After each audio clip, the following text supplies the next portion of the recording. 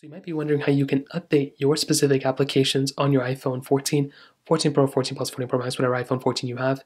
Now doing this, there's a few different ways to do this. The first one being, if you make your way over to your iPhone App Store like this, which is the App Store if you want to type it in, you can search for that specific application. So let's say we want to go and search up like Instagram, for example.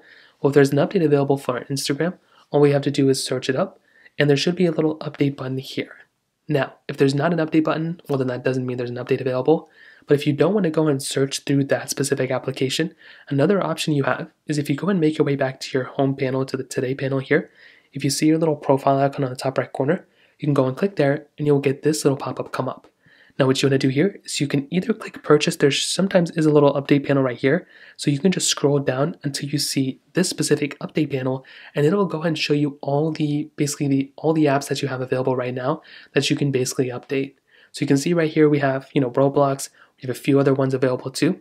So all you want to do if you want to update all your applications, you can click update all right there and it'll go ahead and update every single application that has an update available right now. Now you can also scroll down and see all the apps that have been updated recently.